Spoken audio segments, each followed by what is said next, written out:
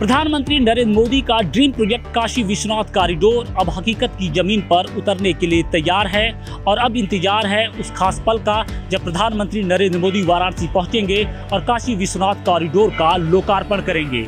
चूँकि ये मौका खास है, इसलिए काशी में तैयारियाँ भी बेहद खास की गई हैं।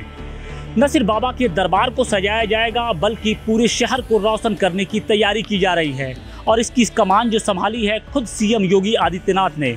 बताया ये जा रहा है कि 5 दिसंबर की रात से सीएम योगी आदित्यनाथ वाराणसी पहुँच जाएँगे और अगले 10 दिनों तक वो यहीं शहर में ही प्रवास करेंगे और इसके साथ ही वो सभी तैयारियों की बारीकी से समीक्षा करेंगे।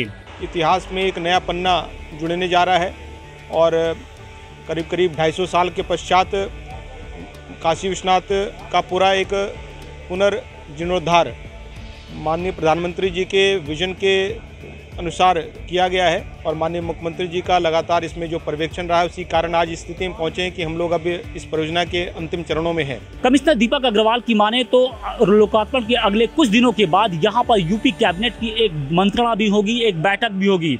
इसके साथ ही देश के सभी मुख्यमंत्रियों को बुलावा पत्र भेजा जा रहा है।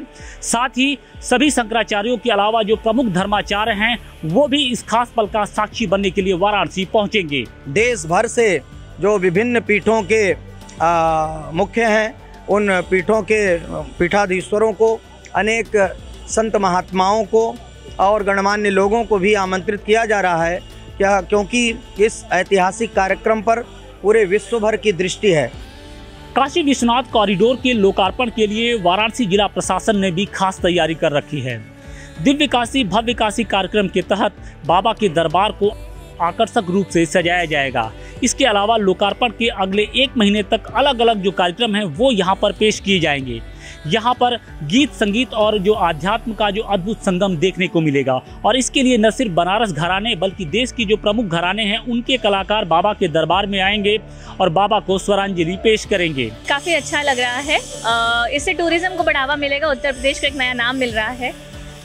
योगी जी और मोदी जी का काफ़ी धन्यवाद करना चाहेंगे कि भारतीय कल्चर को एक नया रूप देने के लिए। जिस तरीके से मंदिर का निर्माण हो रहा है और साथ ही साथ अयोध्या का हो रहा है तो हमें उम्मीद है कि आने वाले सालों में जब ये पूरा काम पूर्ण हो जाएगा तो श्रद्धालुओं को काफ़ी आराम होगा और वो अच्छे तरीके से दर्शन कर पाएँगे। आपको बता दें कि इस दौरान जो बाबा का नसीब दरबार सजाया जाएगा बल्कि बनारस की जो प्रमुख गंगा घाट है वहाँ पर देव दीपावली की छटा देखने को मिलेगी। जैसा कि पिछले दिनों हमने देखा था कि किस तरीके से बनारस के सभी गंगा घाटों पर एक तरीके से दीपों की लड़िया जलाई गई थी कुछ वैसा ही इस लोकार्पण के मौके पर भी देखने को मिलेगा।